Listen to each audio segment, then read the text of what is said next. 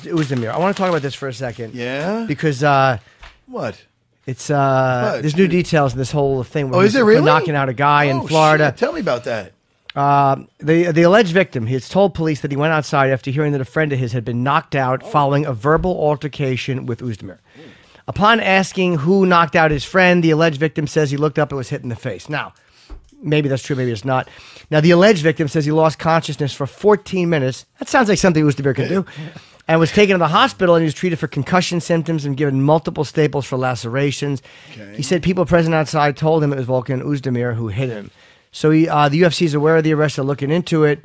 And uh, Cormier did comment. He says, tough to be going through this type of thing, especially at this time when you're on the cusp of the biggest moment of your career. I don't know what happened. Maybe it was self defense, but because he is who he is, it's much worse because he has the ability to sleep dudes who are trying to hit him. To me, that makes it much better if you can sleep dudes. Who said the whole sleep dudes? Cormier. Oh, okay. You never know what's happening, but even in these run-ins, that's really unneeded, especially when you're a young guy as Volkan is, and you're on the cusp of something so big for the first time in your career. So basically, saying like you don't have to do that, but who knows what happened? Like if there's two guys talking shit, the instinct is Who's saying he doesn't have to do it? Cormier might have been said it might have been unneeded. Like he might have been saying he overreacted. Like, Cormier was just saying generally, like when you're in this position, when you're that in your Volkan's twenties and you're gonna fight for the championship, you don't want to be knocking Try guys to out in a bar. A hundred percent, but nobody knows the details. Yeah, yeah, they're That's figuring it out. important. Yeah, that's what he's So, doing in general. Yeah, I mean, listen. Obviously, you don't want to hit anybody. Yes, you do. I would love to, but I'm Unless, small. unless you make a certain amount of money, then I think you get a pass on smacking people. Yes, that's the- but that's something else. But we'll talk about that another time.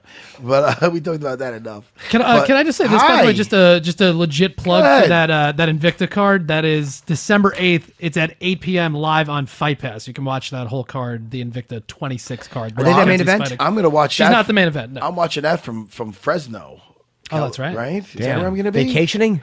I'm gonna be yeah. I got Aljo and Merab fighting. Man, that's a vacation. That's a that's a that's a, a working vacation. It certainly is. Well, it's a good time. I like my guys a lot. Staring at me, What Jimmy. you just said. What? So I like my guys a lot. I like my my. Why are you making weird? My God, my fighters. You're just staring at me, Jimmy. I wanted Jimmy- to talk because I wanted to bounce something off you. Bounce it right off me. It's something you and Dean Thomas talked about that I sounded like I was out of Oh, Dean line. Thomas my friend. By the way, very important. I don't want to cut you off. That's Wait, okay. No more Splendor. What? Oh, there's a bag right here. All right. He's Pointing at a scrotum. Oh, there's a bag of it. Oh, thank you. Oh, yeah, yeah. Oh, it's raining. It's raining. Throw it at me. Throw it at me. Now, Matt, you, you had commented that Yes? uh, you Talk thought. Colby Co- uh, Covington was wrong.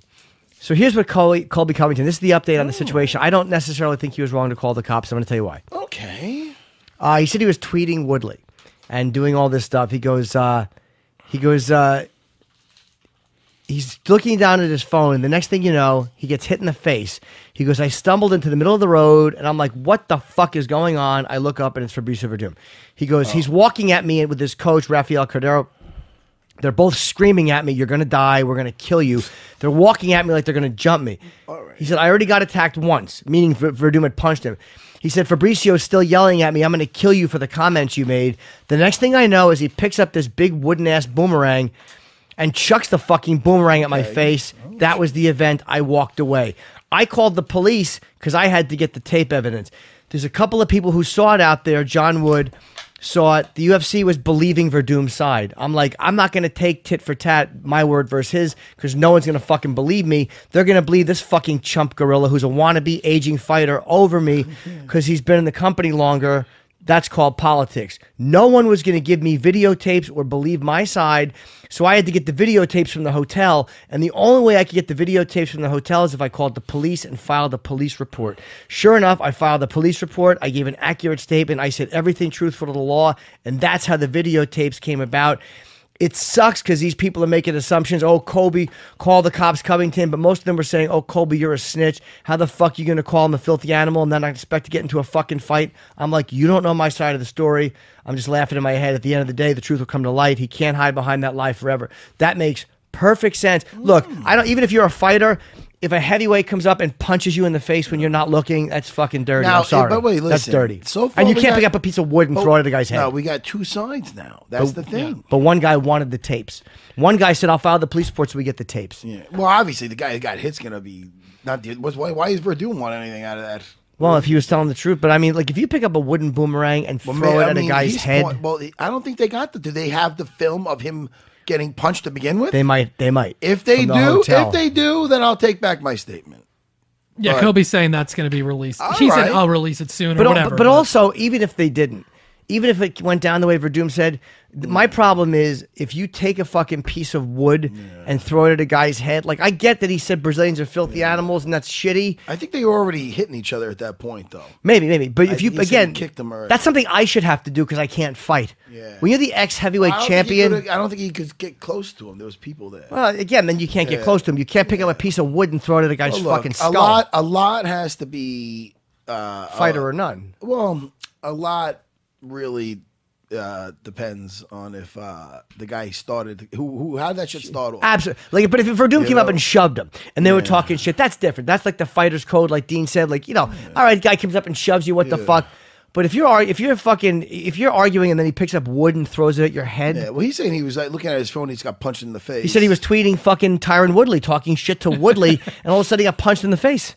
He probably thought, "Wow, man, that's a powerful tweet." Yeah. I thought he got tweeted back. Yeah. I don't know, so let's go with that. You know what I think? Yeah, that? give yourself no, you know what. I think of that joke? I think of that. Yeah, I'm sorry. I tried. come on, not true. I tried. Not true at all, Matt. But listen, no, seriously. So we like to have fun here. On, Yes, uh, we do. on UFC. The Unfiltered. proverbial ball. So, uh, you know, so Chris, the producer, came to us and he goes, "Oh, I got some new segments." That's not, I don't know how to do a Chris, the producer. That was a Ray was Longo. That was, that I Ray Longo, one, the producer. I know one impersonation and it's Longo.